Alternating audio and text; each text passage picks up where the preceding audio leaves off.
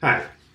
In this data analysis, I'm going to do a quick run through kind of a realistic, fairly realistic analysis of a data set that I found on the web about some building permits. It's a little bit unauthentic because I've worked through it a couple of times just to make sure I can show you some interesting things, but basically you're going to see everything I'm doing as I work through this data analysis.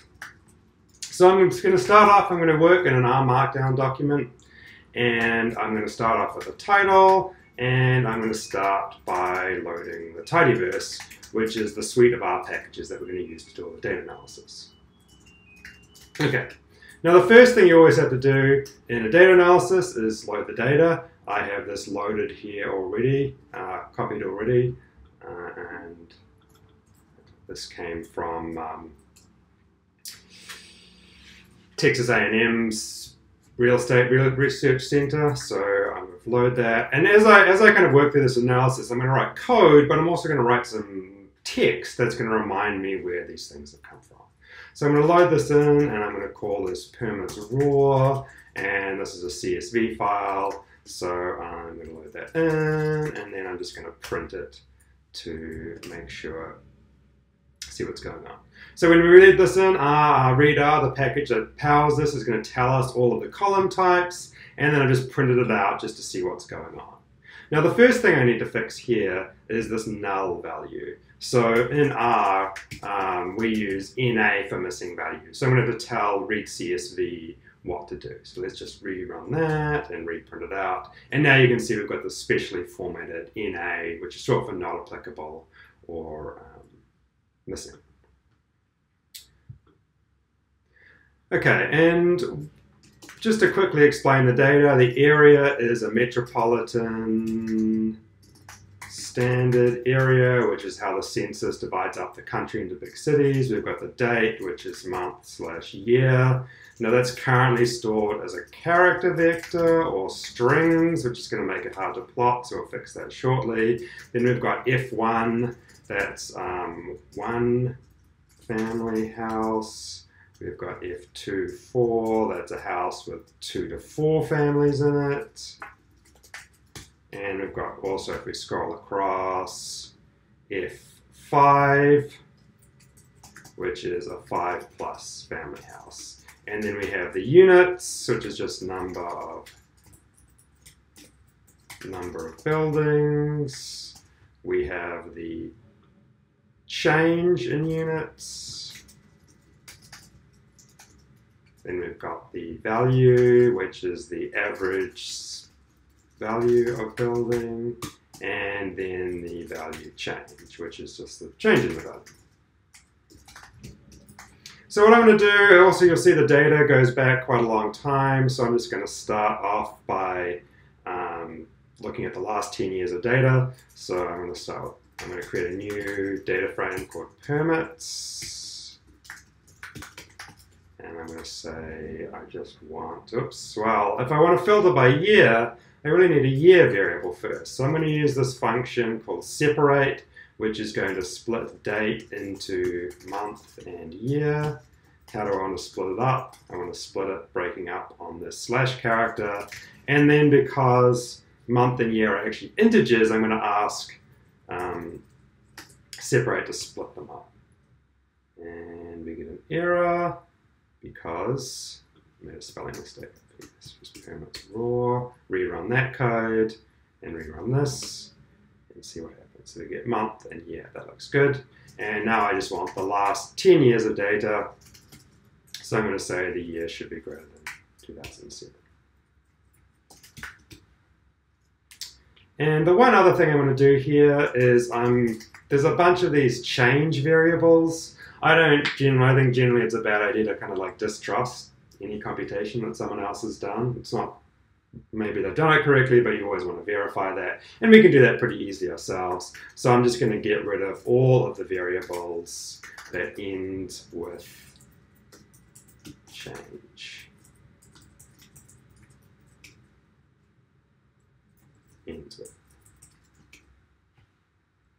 Okay, so now we've got about 40,000 44,000 rows and about nine columns. Okay, so now that I've got a couple of data in sort of a very, very basic shape, I'm going to do some very basic EDA just to get a sense of like what's going on with this data set. And a really useful tool for that is just a count. So I'm going to say count by year.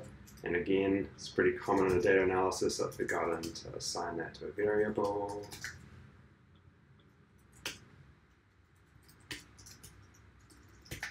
So you can see we've got about 45,000 records per year, maybe a little less in 2015 and 2016, 2017.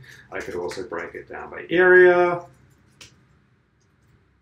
And you can see most of them have 119 observations. Now I'm going to use a pretty uh, useful little trick here. I'm going to do a double count. I'm going to say now count how many had that count of area. So you can see that there was one area that had 47 records, 16 areas that had 84, and 364 that had all 119 records. So it's just useful to give me a little idea of what's going on. Now for this analysis, I'm just going to focus on single family homes. And I think it's a good idea just to start with a quick visualization of that. So I'm going to kind of construct my x, I want a time series, so I want time on the x-axis.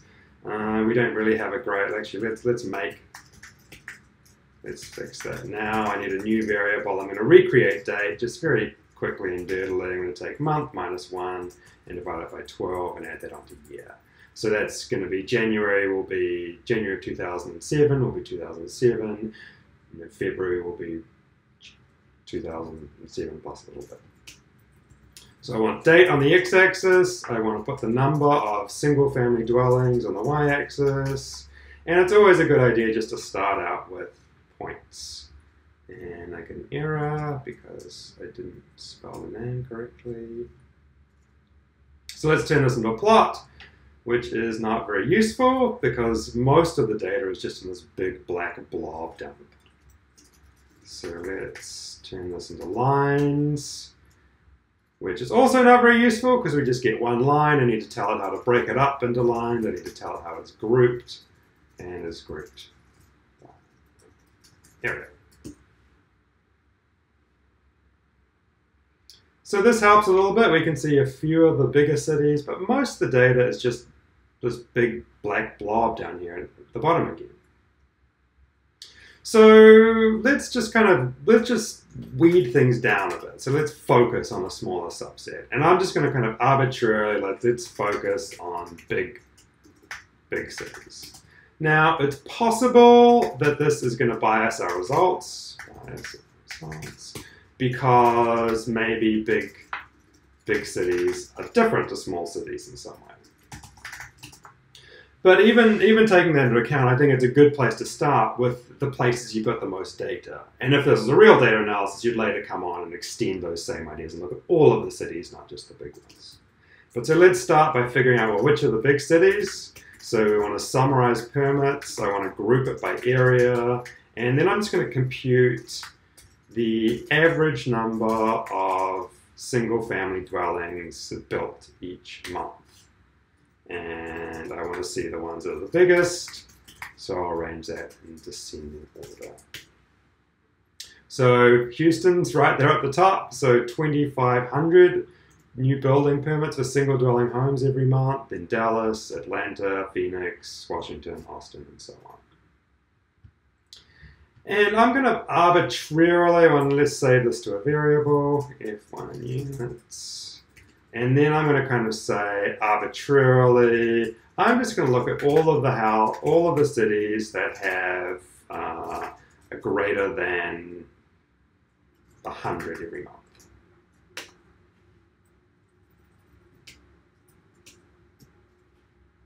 And that gives us about 100 rows. So this is, a, sorry, this gives us 100 cities, and then now we need to go back and find all the permits for those cities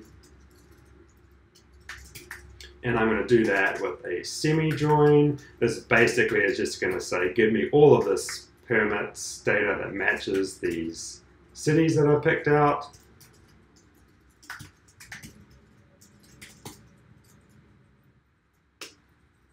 And let's just print that out again.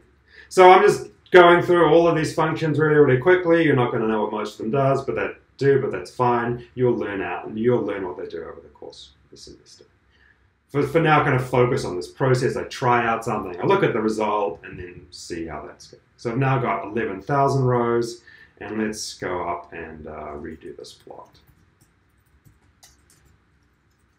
So now instead of just the perm, all of the permits data, I'm just going to look at the permits data for the bigger cities.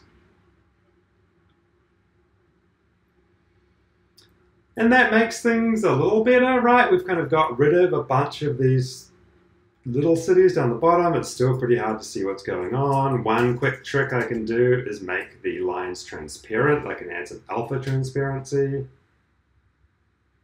Makes things a little better. Now we can't really see the big cities, but we can see what's going on in the smaller cities. And of course, I should be using big here. It's big helps a little bit. Another thing that's sometimes helpful is maybe I could try doing a log 10 transformation. A log transformation is often useful when you've got data that spans like multiple orders of magnitude. You know, we've got these really big cities like Houston as well as much, much smaller cities. So let's try that. And that, that's actually quite, that seems to do quite a good job of kind of shrinking the bigger cities down and expanding the smaller cities up. And now it looks like we can actually see that, you know, maybe there's some kind of like common pattern going on within a year, and then maybe there's some sort of common long-term trends. Well, one easy way to make those long-term trends a little easier to see is to add on a smooth line. Let's do that. See what happens. So that's kind of interesting. We can start to see maybe that there's some sort of long-term structural things that are affecting many cities. But it's still a little hard to see because we've got these two problems that we've got this strong pattern within the year and the cities are still kind of spread out. Like, can we can we do better? And to do that, let's let's we're going to use a model because models are really powerful tools for partitioning the signal. So we're going to try and partition this this pattern, the signal, into this monthly component, and then what what's left, maybe this a smoother long-term trend. And it's going to be easiest to do that if I start by focusing on just one city. So I'm going to find the city, and I can't remember exactly what the name of Houston standard metropolitan standard area is, and it's quite long, so I'm going to use a, a little string, a regular expression function, just to look for all of the areas that contain the word Houston. And I just want to check that worked.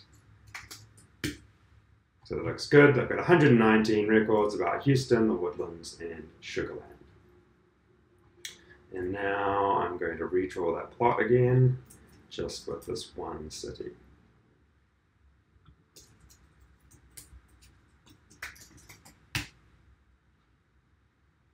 So now with this one city, you can see it looks like this pretty strong seasonal trend.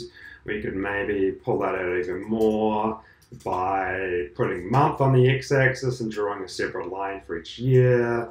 And then since we found the log 10 scale useful before, let's try it again here. And so I think there's, there's some sort of evidence of a strong seasonal pattern here, right? You can see there's more building permits in kind of earlier in the year than in winter.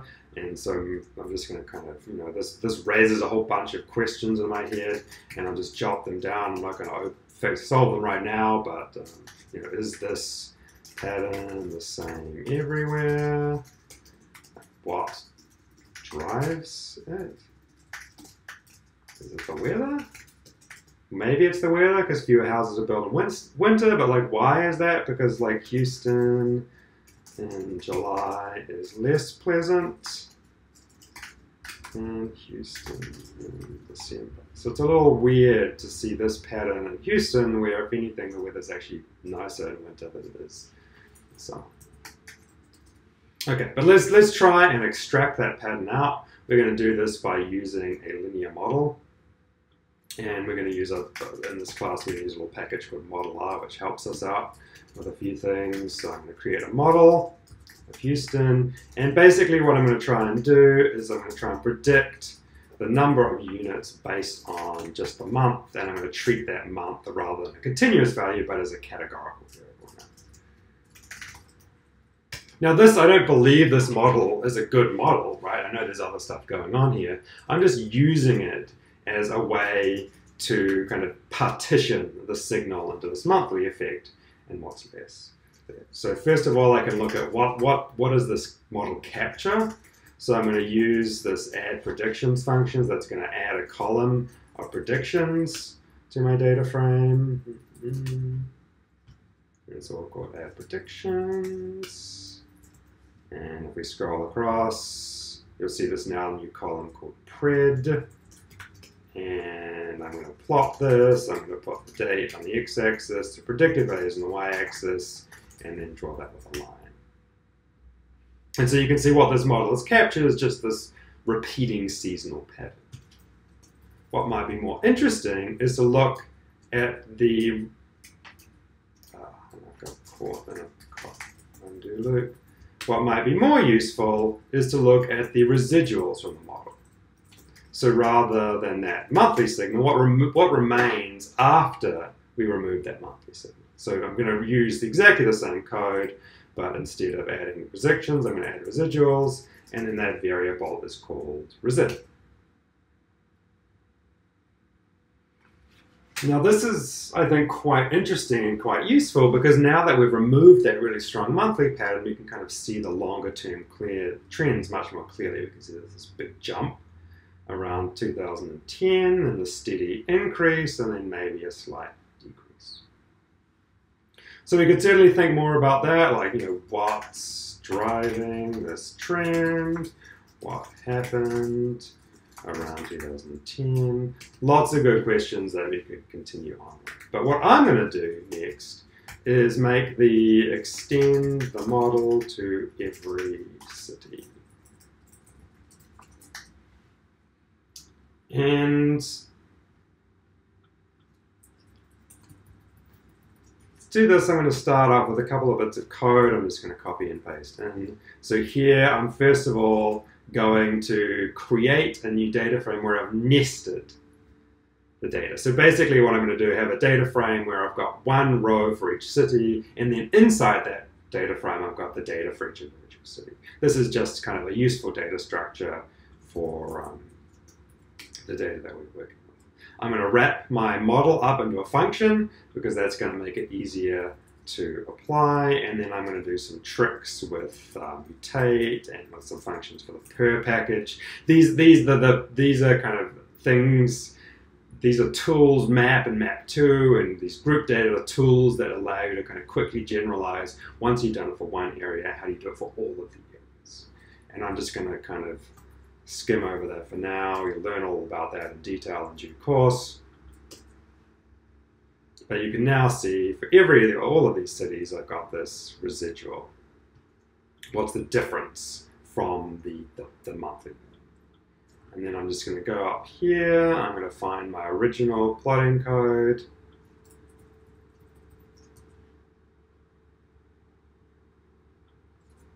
And now, instead of plotting F1 units, I'm going to spot the residuals from my model. That doesn't work because I also forgot to change the data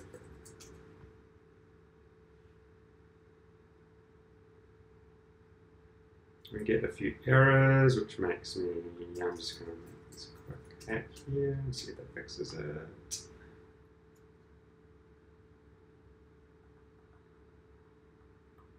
Something weird is going on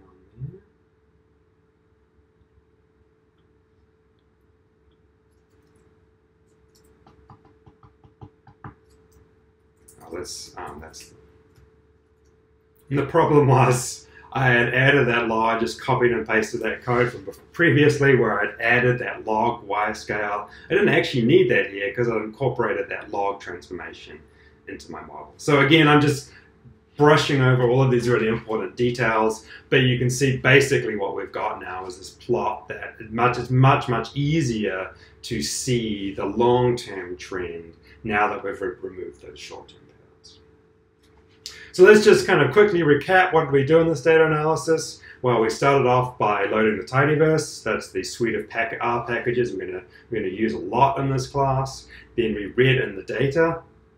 We did a little bit of kind of tidying of the data, making sure that we've got useful variables like splitting that date variable up into month and year, getting one of those variables we're not interested in. Then we did some super quick EDA just to get a quick idea of what's going on in this data set, just counting.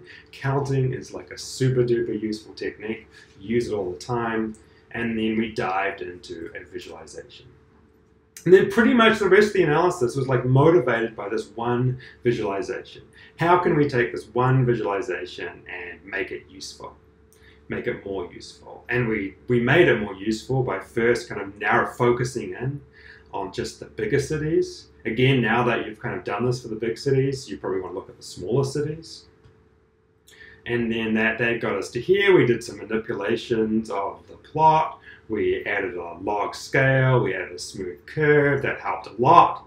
But at some point, we kind of have to move away from just visualization and think about well, could we use a model? Could we kind of partition this pattern into this short term monthly variation and a longer term smoother trend? We did that first with Houston. Great problem solving strategy. If you've got a big complicated problem to solve, just start with one small piece, solve it, and then generalize your solution to all of the cities, and then that ends up with this final plot, which I think is quite interesting because it tells us, like, hey, there does seem to be some pattern that's affecting all of these metropolitan standard areas. You can see that there, there's there's some decrease. There was that that what that that uptick in 2010 wasn't just Houston; it was everywhere or most places. It dropped down and then gradually be increasing. Of course, this plot raises a whole bunch of other questions. You can see some cities that did not do seem to be dropping off again. You might wonder, well, what's different about those cities? Like, why? What's can we explain more of this variation in here? And so again, all great stepping off points for the next part of your data